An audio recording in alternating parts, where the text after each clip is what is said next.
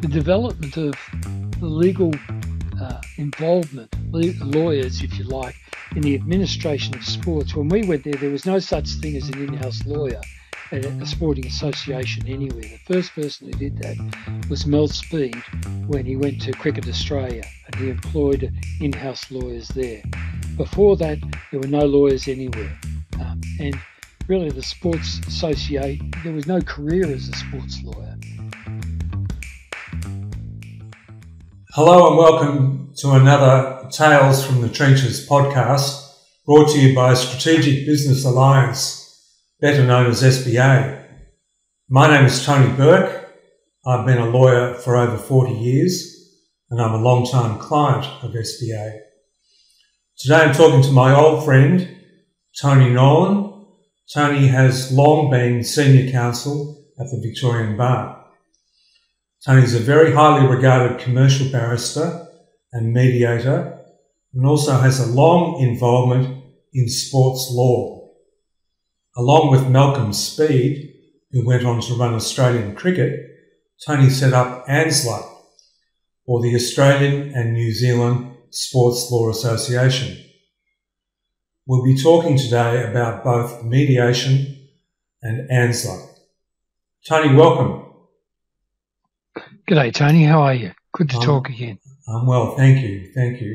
Now, Tony, we've we've known each other a long time.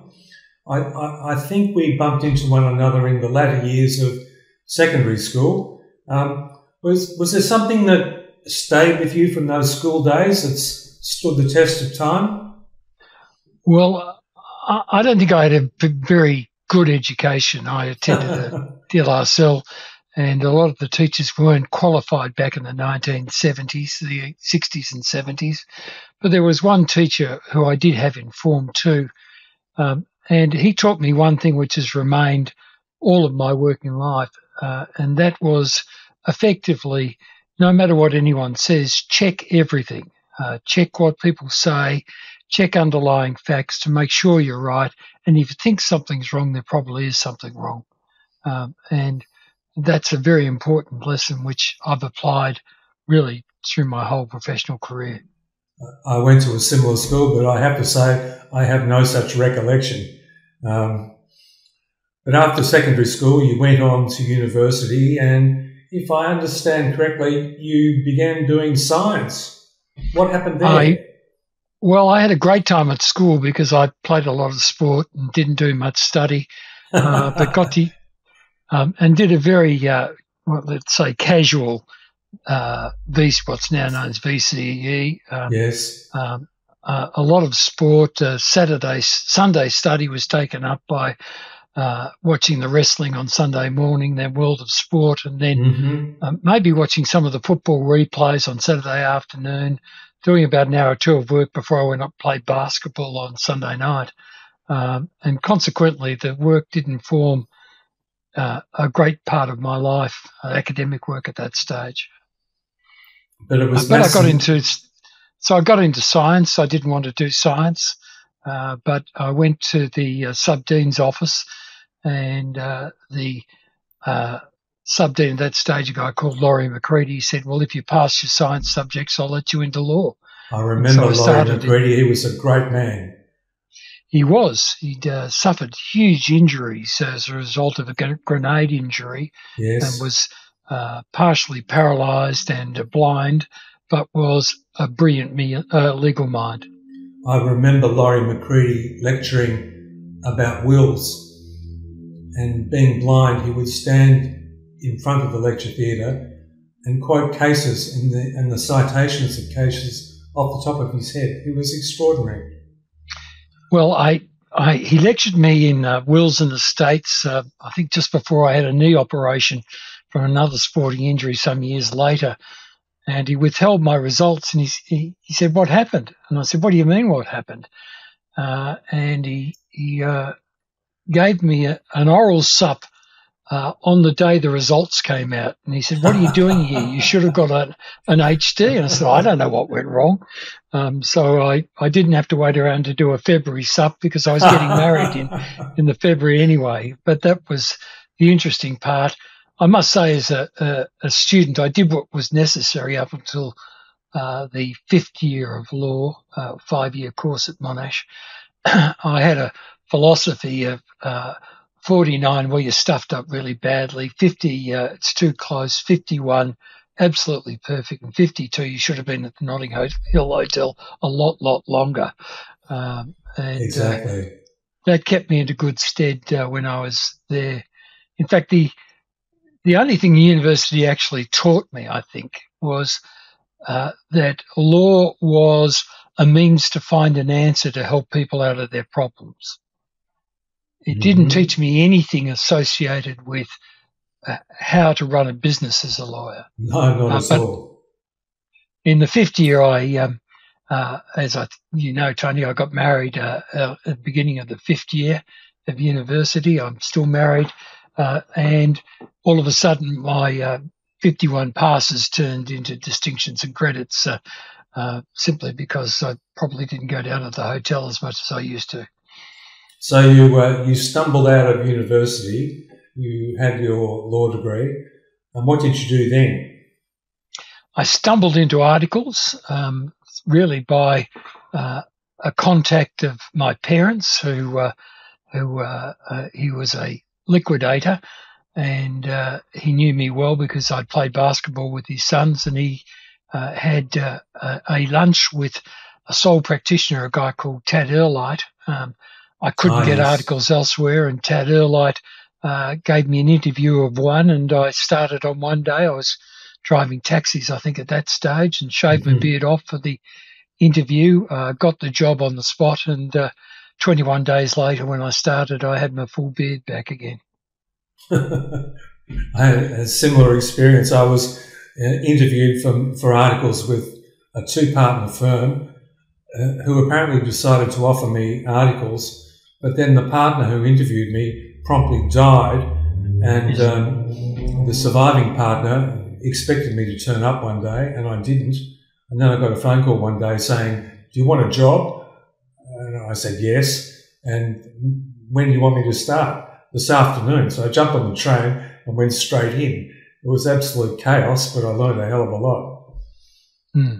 Well, I recall my first day of articles where I was sharing a very small office with uh, uh, an old-fashioned photocopier, as it turned oh, out. Yeah, yeah, yeah. and it generated heat, an internal room, of course, uh, no windows. Um, and there was two boxes, fruit boxes on my desk full of files and involved a preference actions. And I had no idea what a preference was. Uh, and I was asked to prepare a brief to counsel. So, so, so Tony, you, you did your articles, and what happened then? Did you become a solicitor? or did you go to the bar? Uh, no, uh, not immediately. I finished articles. Uh, I had, a, I must say, my articles were very interesting. That uh, being a sole practitioner, the mornings were spent filing documents in the titles office and the corporate affairs. Uh, afternoons were preparing cases or instructing in Supreme and County Court cases. It was very mm. unusual because uh, Ted Earlight was uh, quite a bright man, but he he didn't keep very regular uh, file notes, so that you go to a file and nothing on there. Yeah, yeah. So I learned very quickly that litigation was where I wanted to be. Uh, I already knew I wanted to be a barrister, but my wife and I decided to travel for eight months, and so as soon as I graduated, I again worked bars and taxis, and we went overseas for eight months. Came back and was offered jobs in suburban practices, but I wanted to be a barrister, so I so I um, uh, went to the bar straight away. Tony, that must have been a very scary pool to dive into. Uh, it was, but um, I, I, worked out during articles that I didn't think I fitted into the model of most uh, medium or larger firms of of six minute units and uh, mm, and uh, timesheets and uh, performance criteria. Uh, I was interested in running cases and getting to results. Uh, um, and as it turned out, my articles was ideal for that because I was given a lot of responsibility uh, at the highest level, and then exposure to what barristers actually did, which was really what I wanted to do anyway. Mm. Um, so but uh, it was scary for lots of reasons. Those days, the Victorian bar was a place of expansion. Um, there were uh, there was a readers course, but it was very uh, sporadic. One had to attend three or four uh, hourly conferences, uh, but the rest of it was being thrown in the deep end under mm. the hmm. tutelage of your master, as they were then called, now called mentors. Um, and it actually suited me, but the bar at that stage uh, uh, had uh, designated that all new readers had to go onto new lists which had been established, so you couldn't get on the ah yes yes the famous lists. I was on uh, the remnants of a list called uh, Kelnan, which then turned into Bob Bloomfield, and um, that list ran into difficulties. The bar eventually revoked his license for reasons unknown, um, and then I was able to transfer when he left uh, to another list. Um, uh, which was Spurs list, which was a quite a, uh, an established list, and I shift off that list when uh, when uh, uh, barristers list A is called list A barristers was established. well, I, I think it had already been established, but that suited me more because the clerks didn't get me any work. You had to get your own work, and um, why should I pay for a, a, uh, the work of getting work, the clerk paying the fees for getting work when they weren't getting any work. Sure. So it was. let's let's go back to the beginning though. You you would have found yourself amongst the brightest and the best. Did anyone stand out at the time? Uh, of my peers or, or other barristers? Amongst the other junior barristers, were, were you were you dazzled by the people around you? Um, well, those days were generally days in the magistrates' courts, uh, and again, um, that that philosophy which I learned at school came to play. That if you were doing a, a, a motor vehicle accident, a crash and bash in the magistrates' courts, uh, I used to go out to all of the sites and have a look to see where the accident happened to work out why the accident may have happened. Uh, yes. The other people didn't go out uh, they relied upon the Melways and what their clients told them or what the claim form said. And I found out quite often that that was wrong. So when you when one you didn't get paid extra to do that, but you but effectively it, it gave you a leg up in preparation. And thereafter it was simply battling amongst those. Um, there was another a cabal of barristers, those who'd come in from the large firms who went straight into the practice court or the master's court with you know the large cases or junior briefs. Uh, and there was clearly some bright people there, uh, obviously, um, mm. uh, but they didn't really come across my radar at that stage. I was the, at the uh, uh, the bottom end of the market. Sure. Now, in in the early days, there must have been times when you had zero work and you never knew when the next brief was coming from. How did you cope with that?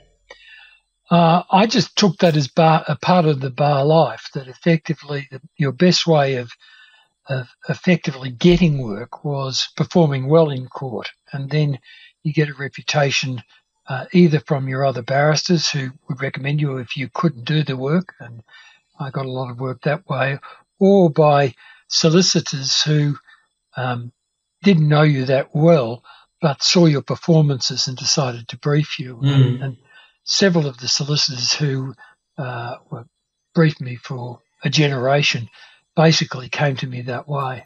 Um, that is that uh, they were appearing in the magistrates' court, um, and uh, uh, the ferocity of uh, running a case or preparation of the case won them over effectively. Mm. Mm. Um, uh, but must... yeah, it's always dif- it's always difficult uh, because uh, although my upbringing was comfortable, my parents weren't millionaires, and uh, uh, we had a very strong work ethic. Um, your, your wife must have been wondering at times where the next dollar was coming from. Well, it, it, was the first couple of years in particular. She was working as a teacher, and she was bringing in the income, and I wasn't. Yes. And then when we started having kids in the early '80s, uh, uh, the reverse uh, became true. I I uh, became the breadwinner and effectively developed a practice. the irony of it is that you know if you're on one of the bigger lists, you were inevitably going to get a lot more work. Uh, I wasn't there. You can't complain about that. You just have to go on and make it make it so. Uh, and then the work filters through for the upper courts, the county court and Supreme Court, and you just actually do exactly what I'd done. That is, you keep on struggling. You came across people who were clearly brighter than you. That's not the point, but they didn't manage the facts and understand the facts as well as you did. Uh, yes. So effectively, by analysis of the case, you you um, you uh, gave yourself an absolute advantage. And I'll give you a simple, uh, without breaching an ethical obligation. A couple of years ago, and this is recently, but same principles apply.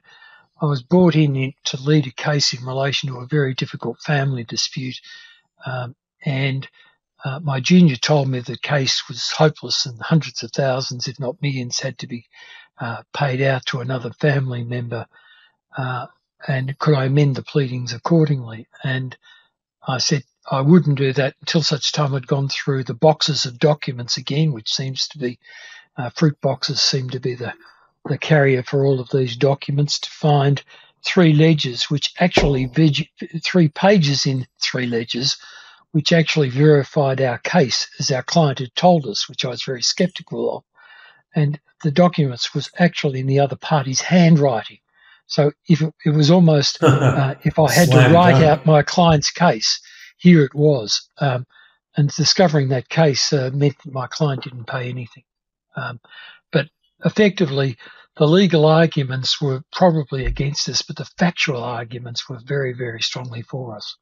I've always been very strong in preparing chronologies uh, of events because when I find out when things happen, I know why they happened. Uh, and you don't know why they happen until such time as you, you work out when they happen. So you have to work through that process.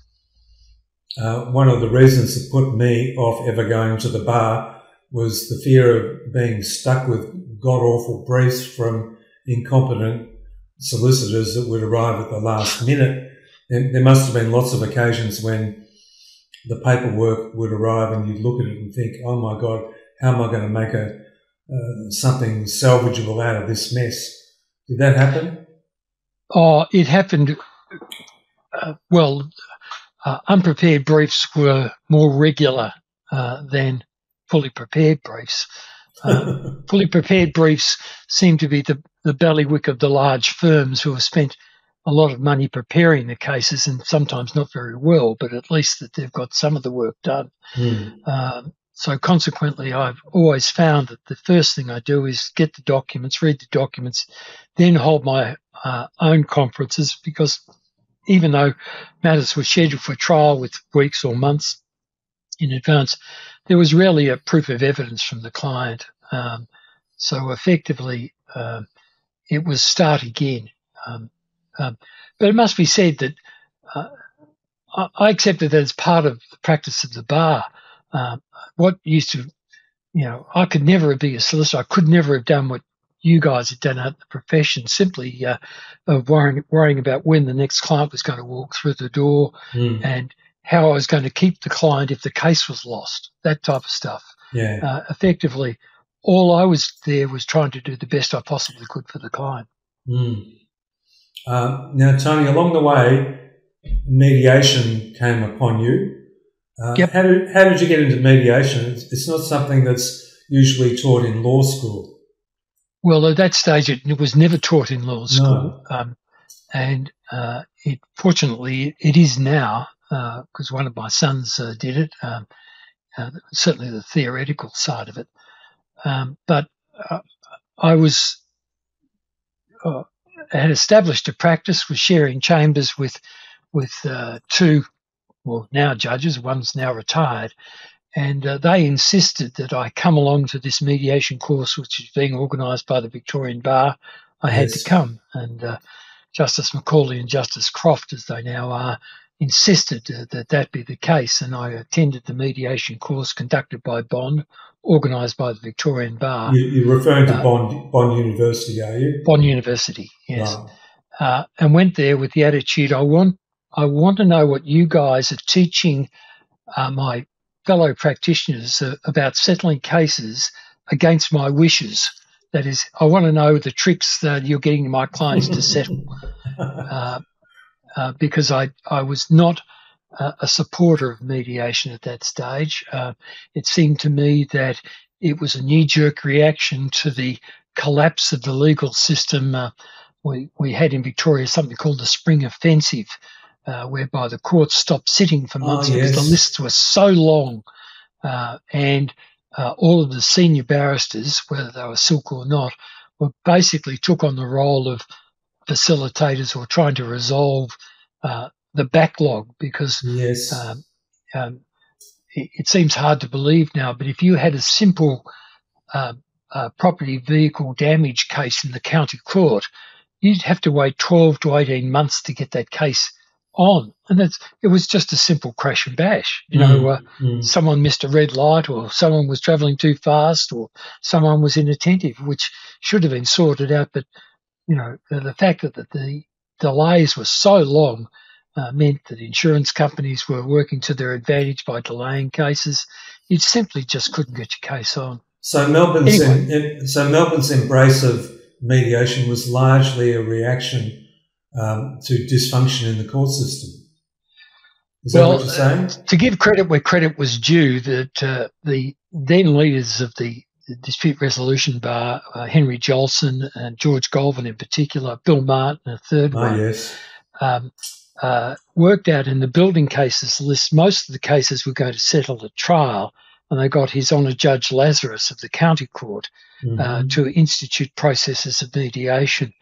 And it worked out to be a resounding success and spread from just Judge Lazarus's list, Judge Lazarus's list, uh, right through uh, uh, the Victorian judiciary, but out of the County Court of Victoria in particular.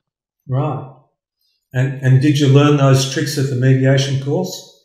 Well, it was a bit of a road to Damascus experience for me.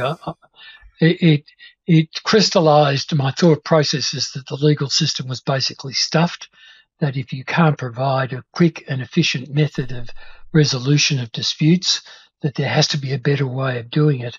And that's what mediation does. And so I, uh, of the three uh, uh, uh, Clyde uh, Cameron and myself who went there, I far and away did the most mediations after that because it seemed to me that sticking within the court system was fraught on failure and not in the interests of the parties. I totally agree. Um, was that the best, most practical training you've ever had in the law?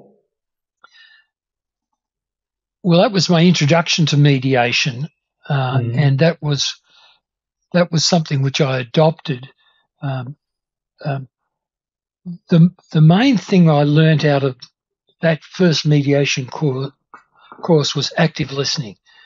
Um, we as yes. barristers are, are, are, narcissists in a way. We know everything, so you can't tell us anything. Mm-hmm. But effectively, um, teaching uh, teaching me and other attendees of the course to actively listen to what the parties were saying, not only by the words, but their body language and reactions. Uh, and then trying to identify the needs, what those people wanted to achieve was a critical exercise. Um, how, how did you was, develop skills in, in reading people's body language? Was, was that part of your training? Oh, I think you picked that up as part of the cross examination, the practical on, on course of cross examination. Oh, yes. You if you're cross-examining a person, if someone gives a definite yes, you can work out that if someone gives an answer yes, there's some uncertainty there. So your work, the words is the same, but the body language and the way it's answered tells you that there's more to that yes than what, what the person's answered. And if you've got an idea of what that is, well, then you can explore that. And so to, to actively listen to what's said and how it's said is a critical part of training for any barrister, and I think makes better barristers. I think it That's why I've been a, a strong uh, advocate for mediation training for all barristers simply because it makes them better barristers to identify the needs of the parties. Many, many years ago, we, uh, um, I hope I'm not breaching confidence here, yeah. we had, uh, you briefed me to a period of mediation involving, once again, a family dispute. Yes. Um, and lots of them. And, and indeed, on the face of it, it looked like a simple, not a simple, but a trusts family dispute uh, father, step mother, uh, daughter dispute. All of the all of the types of disputes we're very familiar with. But our client indicated that she was most upset uh, about she didn't know where her father was. He, would apparently been put into a nursing home. Mm-hmm. And active listening by you and I worked out that that was her prime driver that she wanted to see her father, right? Mm-hmm the, the money wasn't important. The control of the companies, well, she didn't really care about that. She had enough money to be comfortable in the rest of her life anyway, and she had no kids and everything else like that. But she settled it on the basis that she could immediately go and see her father. So she agreed to the settlement on the basis that she'd be told where her father was. Yes, and she left the mediation. My recollection is that she went the next day to Outback, New South Wales, and was there and spent five days with her father. Uh, it turned out to be his last five days. Mm. And she sent me, and I assume you, a great thank you note for arranging that for her, which was mm. otherwise not possible. Had I not been trained and you not been trained in active listening, the fact of the matter is that we mightn't have picked that up. We would have just dealt with the commercial aspects of the dispute. And that wasn't her goal at all. Um, yes, you, have talked about some of the attributes that go to making up a uh, an effective mediator. Um, are, are, there other skills that come to mind? Oh, the, well, as you know, I um, about 15 years ago, I went to Harvard to do a very short course on negotiation and mediation. Yes. And that refined my skills again. Um, and one of the, the, critical points associated with that, apart, um, all of the you know, training exercises that they do and, um, and preparation, they gave me a two page sheet in relation to preparation for mediation. Uh, I remember it well. uh, which uh, effectively uh, made, and I've used it for almost every mediation that I've conducted uh, for when I'm acting as counsel for a party to get my clients prepared for mediation, to work out what are the strengths that you've got, what are the weaknesses the other parties have got, uh, uh, what you hope to achieve, what you hope they can give up, uh, uh what your best alternative to a negotiated agreement is. If you can't do a deal, where is it going to go? What's your worst alternative to negotiation? Um, um, you know, things like log rolling, where if you're dealing with uh, an agreement or a potential negotiation of an agreement, uh, it, there may, there's not just one factor, so that's the price that you're going to get or a percentage. It may well be the area, whether it's exclusive or non-exclusive, the length of time, uh, and all of those are factors which go on price. So you might, what the they describe in Harvard, log roll. You might go from price will be 10, 10 units, but I want two years of non-exclusive, or it might be for five years uh, for a 10% increase of price if I get uh, uh, effectively two areas. Uh, you know, all of those things uh-huh. go in there. And, and effectively to work out what all of their alternatives are and get your clients to sit down and work out that before you get to a mediation is the absolute – basics for making it, uh, the negotiation work. That is, yes, you know where you're going. so huge, to educate your client, powerful. educate your client before you get there, you find that they've got a strategic advantage in the negotiations themselves. Now, on the basis of that experience, have you come to a view about whether there's a difference between the Melbourne way of mediation and the Harvard way of mediation? Well, I guess I've got to explain what the Harvard model and the Melbourne model really are. The Harvard model is that you basically get the parties into a table with a, a facilitator, a mediator, mm-hmm. if you like. Yes. And you keep the parties talking around the table so that parties themselves do most of the negotiations. Uh, sometimes they'll break out because they want to get some further instructions, but there'll be nine times out of ten, with, uh, ten uh, in the room with you. Um, the Melbourne model is slightly different. Um, the Melbourne model is uh, developed, I think, because of the power of the barristers and the desire to keep control of the mediation process, whereby there may be an opening session uh, where everyone's present. Uh, I generally conduct them on that basis. Then the parties go into their breakout rooms, and it's very difficult to get them out of their breakout rooms yes. uh, simply because uh, they want the mediator to act as a facilitator between uh, yes, using. A, the shuttle diplomacy, as it's referred to. You go yeah. and tell them this, you go and tell them that. Uh, my view is, well, hang on, uh, yeah, I can, but why don't you go and tell the other barrister, for example, that? You know, uh, and I'll be part of the conversation, but why don't we do that? Yeah, well, I got to Harvard. Harvard said they don't believe that there is such a thing as the Harvard model. The mediation's an evolving process, but they were intrigued by the Melbourne model um, uh, and uh, the shuttle diplomacy approach. Um, uh, they they were surprised that it worked, uh, but experience says that it has worked because, of course, there's been um, tens of thousands of cases in, in Melbourne which have settled. Any uh, views about which is the most successful?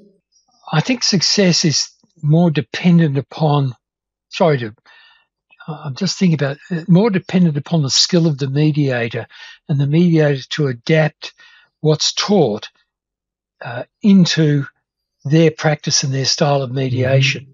so that you effectively get successful mediators. If you if you get those who simply follow the Harvard model, they might crash and burn straight away because the resistance will be from the barristers. Or if you get uh, those who stick to the Melbourne model exclusively, uh, they're not going to be successful because they're not adapting yes. the mediation to the needs of I the agree. parties. And, I agree. And some mediations I conduct, uh, I tell the part, I get them back if they go into the Melbourne model. I try and get them back into the room, or certainly the lawyers back into the room as soon as possible. Some of them, uh, they don't actually ever see each other again. You know, yeah. uh, uh that's particularly true on these days of Zoom mediations as Speaking well. Speaking of which, uh, in the last several years, we've had um, COVID and the pandemic, and scores of mediations over Zoom, Microsoft Teams, and those sorts of applications. Um, do, do, they work as well? Have you had to nuance your style to, to do it differently?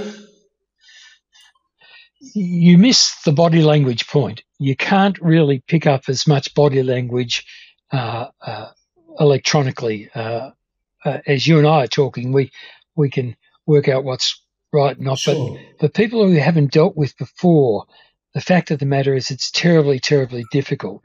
So it's um, it's been an effective tool, mediation by Zoom, and I'll, I'll, use Zoom because I use Zoom the best. Uh, I find it the best one, but it's not as effective as face to face. I'm fa- using three models at the moment. The first is face to face, which I encourage as best as I can. The second is the hybrid model, where I might have most of the parties present in one room, but someone can't attend, they're interstate or overseas, and they'll be hooked into the conference by Zoom.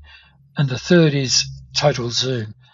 I'm convinced that the best approach is uh, the first approach, mm-hmm.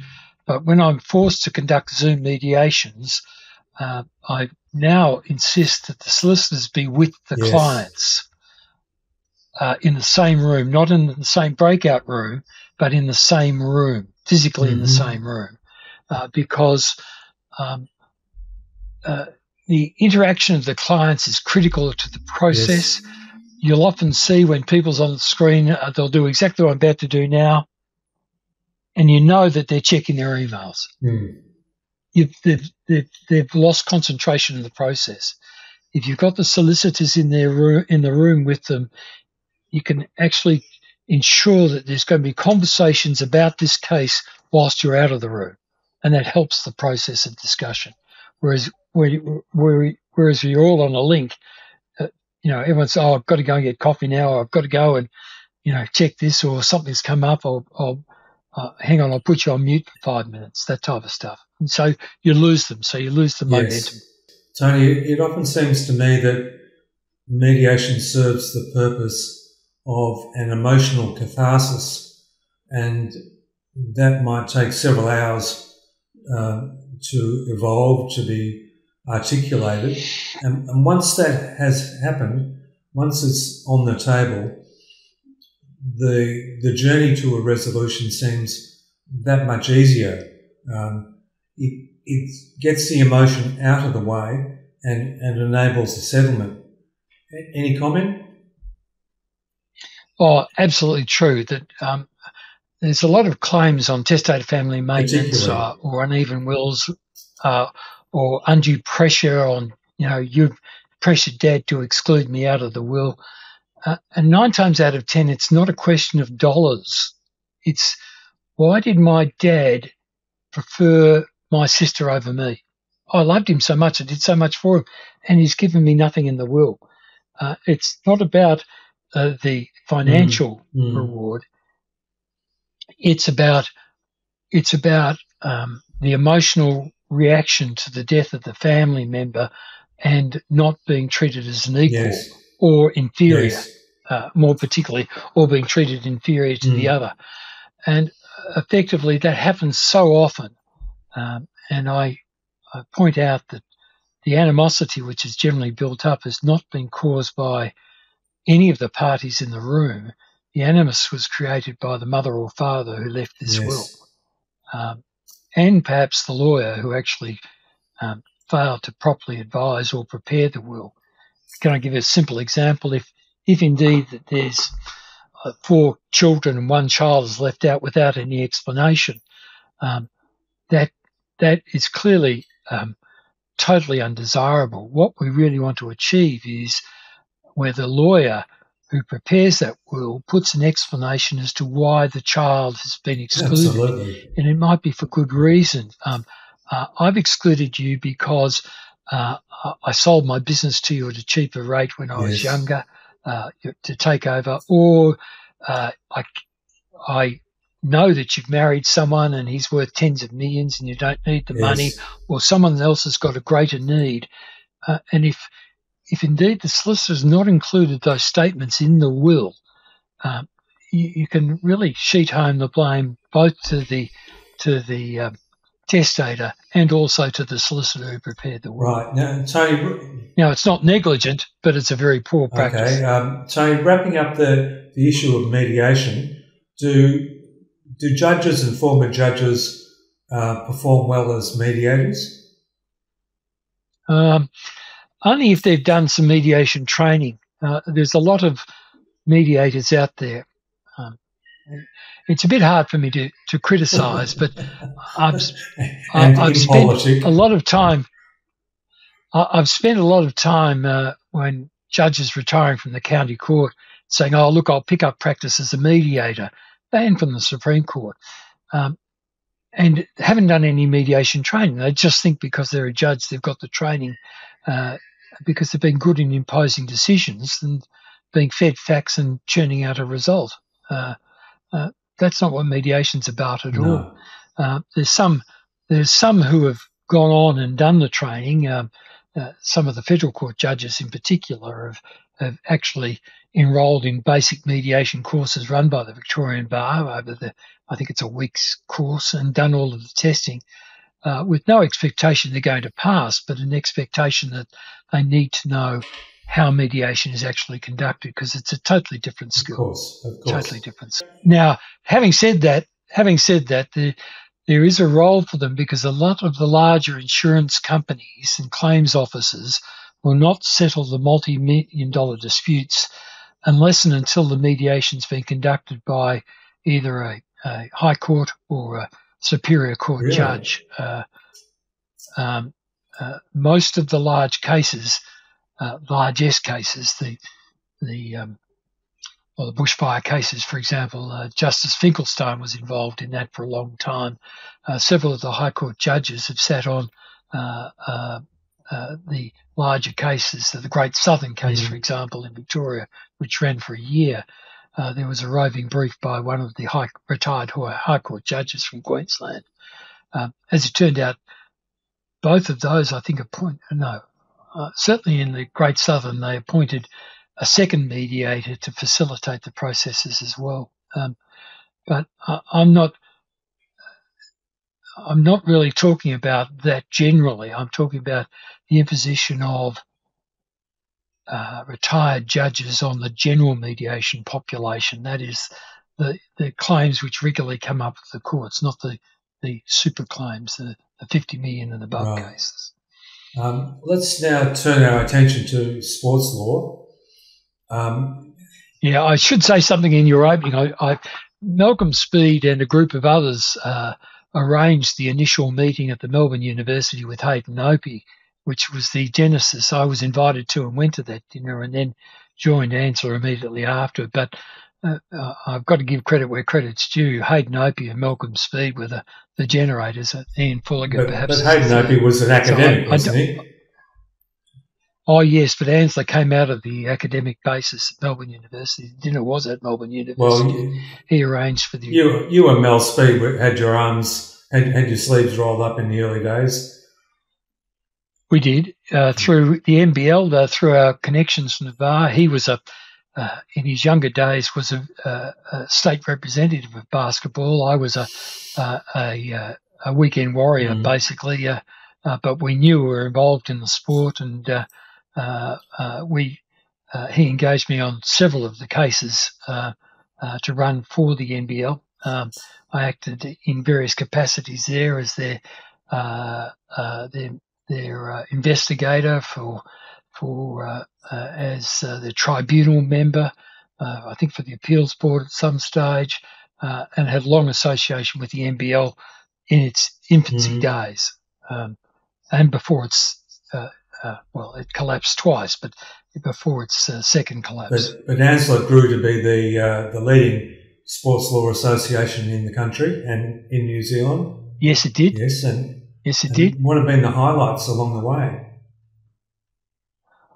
Uh, the highlights have been the development of the legal uh, involvement, lawyers, if you like, in the administration of sports. When we went there, there was no such thing as an in-house lawyer at a sporting association anywhere. The first person who did that was Mal Speed when he went to Cricket Australia, mm-hmm. and he employed in-house lawyers there. Before that, there were no lawyers anywhere. Really? Um, and really, the sports associate, there was no career as a sports lawyer. That is, that there were people like myself who were, you know, on tribunals and assisting sports as best as I possibly could and advising athletes as, as and when disputes came out. Um, Most, mostly pro bono? Really was. A fair number were, yeah. Uh, I, I, I the Victorian Bar eventually, uh, sorry, the commercial bar of the Victorian Bar set up uh, a sports section, and uh, the late Henry Jolson, myself, uh, uh, now Justice uh, Olstergren, and Paul Hayes were, I think, the four committee members on the initial hearing. Henry Jolson was absolutely fantastic in setting up that. when Henry fell sick and I took over as chair of that my critical involvement was to try and get uh, barristers back involved in the sports which they'd been interested in. They may have been weekend warriors like mm-hmm. myself, or there were some AFL footballers to get AFL footballers back into uh, sport at the top level, either tribunal mm-hmm. work for the AFL, the VFL, or a lot of the country associations. Uh, same for cricket. Um, so in the processes, uh, I think we had 70 or 80 volunteers at some stage to get these barristers uh, to get involved back in the sports. Now, I'm, I'm very pleased with that. That's one of the great issues because I believe sport is better when, well, let me rephrase it. Sport is a basic human right. Uh, you have a, a, right as a human right to, to relaxation. And if your human rights are going to be affected by uh, dictatorial statements from sports, which are very dictatorial and and and uh, uh, fiefdom like. Mm. So we have our administrators who are very fiefdom like. that's not good for sport because the participants are the ones we're there for, and they seem to forget that that that the administrators seem to forget that they think that they're there for themselves or the development of the sport. Well, I have a view that sport can only develop uh, when you carry the people along with you. And if you're going to take away people's rights, not allow them to participate in their relaxation, it's got to be fair. Uh, and uh, having been a victim of very fair, un- unfair tribunals during my uh, weekend warrior basketball days, I knew that was something which seriously had to be sorted out. You know, they were robbing our players for 10 years for a, you know, a, a fight which broke out. Well, hang on a moment. That's not right. Uh, you get rubbed out for life if you hit a referee or exactly. an umpire, but you don't if there's just if there's a brawl. Uh, uh, and that's something which I've always been interested in to make sure that the athletes get a fair go. Yes. And most of it's been pro bono. Now, now it seems to me, Tony, that the, the the large issue that's on the horizon in the area of sports law is that of the concussion issue. Um, I personally yep. think it will have massive implications across a, a number of sports. Where are things sitting at the moment, and where do you see they will go? I think um, I, I, I think that this is a general community issue. Um, the fact of the matter is that it's proven beyond any doubt, in my view, that subconcussive injuries, which are not necessarily concussion, but multiple blows, mm. which eventually cause CTE, uh, is a major problem. Um, and we've been addressing the problem from the professional level. That is, the professional footballers working in the AFL or for that matter, for rugby, and saying, look what's happening to these people. Look what happened to Danny Frawley. Look what happened to to uh, Shaun Smith. Look what happened to Polly Farmer. All of our champions have had brain injuries, which uh, affected them in their later lives. Look what happened to Diesel Williams, uh, who's come out with these problems. But effectively, there we have to deal with that. That'll be a class action or class actions. I think there are currently two before the Supreme Court. They will inevitably sort out the players we can't do anything for. We have to deal with that cabal.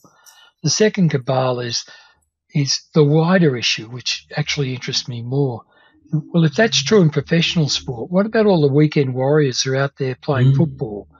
Uh, and all of the symptoms uh, come home to roost. And the first canary in the coal mine is always the family relationships, the domestic violence, the wives who can't live with their husbands, the, the kids who have had breakups with their parents, uh, with their kids, sorry, the breakup with their parent who was affected by these. Uh, and uh, I think it's a widespread community problem. Um, to, to, if I, my, I have a philosophy about this. We only have one clinic at the moment for concussive children can go to for treatment of concussion injuries, and that's Epworth in Hawthorn. It's ridiculous to suggest that of all of the weekend warriors out there, all of the kids who have concussion on the weekend, that we don't have proper protocols for them uh, and we don't have effectively proper treatment for these kids so that um, either they are excluded from the game or they're recovered from their concussive injuries. Um, so that's another yeah. cabal. Then we have to amend the rules for the AFL. Yes. So that uh, we've seen this year, we've we've had uh, I think it's 25 players who have been rubbed out for improper tackles where their heads hit the ground, um, where a dangerous tackle. Well, let's assume that that's right. Let's assume that they are all dangerous tackles and the potential to cause injury. If that's true, it was worse last year and worse the year before, but if the numbers are the same, that means that there's been 25 players over the last 25 years. That's 450 players who have suffered or are likely to suffer concussion injuries as a result of it that. It becomes an, an uninsurable uh, risk, surely. Uh, unless you change the rules dramatically, mm. yes. We might have a debate about that one. Um, Either way, it's it's fascinating to, to hear your views about this. I think this is a, a live issue that we're going to hear a great deal more of over the coming months and yes, years? Yes, I attended a meeting. I attended a meeting only yesterday with a group of retired AFL players who uh, want to form uh, what they call the fifth quarter, and that's effectively a, a, a, a uh, uh, an organisation of players who are now volunteering. Basically, either they've suffered depression or some illnesses as a result, or they're taking care of their teammates uh, who are suffering those injuries, and they want coordination uh, firstly, coordination so that the AFL and the Players Association or some other body uh, presents as a one-stop shop so they provide direction where these people can get assistance, psychological assistance or financial assistance or whatever the assistance is. But underlying that is the problem that uh, the AFL and the Players Association, which negotiates the players' payments, really have to set up a proper compensation system and, and, so that there is a fund to take care of the players who have generated the wealth in the yes. past. Um, uh, so there's a lot of activity out there and people who are interested in this, but the headline matters will change and history says you only change when you educate the administrators to say that there really is a problem. And I don't, from my point of view, I don't accept the AFL as there yet. Um, it seems to me that we've got to have, for example, a scheme whereby if you suffer a subconcussive injury or you suffer a concussion for that matter, you're under the auspices of work cover. Mm. Uh, currently, our sportsmen aren't covered by work cover at all, so we've got to fight insurance claims. Right. Now, Tony, um, leaving these weighty issues to one side, how do you how do you sure. decompress? How do you relax when you get home at night? Uh, um, I, I, or don't you? uh, well, perhaps I don't. Uh, at the moment, it's mainly my family, my children, and my grandchildren are my great uh, releases. Uh, I'm a, uh, I'm a great football fan. You'll see my Demons uh, Premiership poster in the background there. Uh, I go to the football. I spend a lot of time talking to my doctor brother, uh, not about medicine, but about football. Uh, uh I'm very strong on, on decompression of family. But I should say that I, it, it's such a critical issue because uh, one of the joys of you we're talking about developing a practice that you took every brief that came your mm. way. It didn't mm. matter whether it was workers' compensation, uh, as, as was now known then, family law, uh, uh, criminal law, whatever. And as your practice developed, you're able to exclude uh, matters. I have a belief that everyone's got an emotional reserve. And I worked out that I didn't want to waste any of my emotional reserve on family law. so I, I didn't take any family Fair law. Enough. And then workers' compensation cases. So that I, I uh, the decompression is from cases where you, where you, um, you uh, don't want to do in the first place or you don't enjoy doing. Uh, but uh, the other way you do it is to not accept that type of work uh, so that uh, and in the last year or two, especially since COVID, uh, I've fallen out of love of preparing cases for trial um, and running yes. trials because it takes a lot of emotional input mm in the trial, time and energy, stress and stress levels. And I'm debating whether uh, I'm worth it. There's a hundred other barristers, junior barristers, who are uh, uh, desperate to get the work, will do a fantastic job and are prepared to take the stresses of all of that. Uh, as to whether they'll do it better, I don't know, but eventually I know that they'll do a more than adequate job. Uh, so effectively, I, I've, you know, I have the luxury of being able to pick and choose what I do, and so uh, I, unless it's an extreme favour for uh, one of my long-standing um, uh, backers. Uh, I won't. I generally won't go to okay. court these days. Um, Tanya, um, and mediation, it, and mediation itself is a lot less stressful. That effectively, my task for the day is whether I could or not assist the parties to get a deal. If I can't, I don't have to worry because I'm. It's not the next day. I'm not there the next day for what happens next uh, that's the hands of their solicitors. Now, now Tony, it's been a, a, long and very successful career at the bar. was it the right decision you made all those years ago to make a right hand turn out of science? Oh, absolutely, and also the uh, uh, the decision to come to the bar was the right one. I I, look back now uh, and I look at all of. I, I just couldn't have coped in a large firm.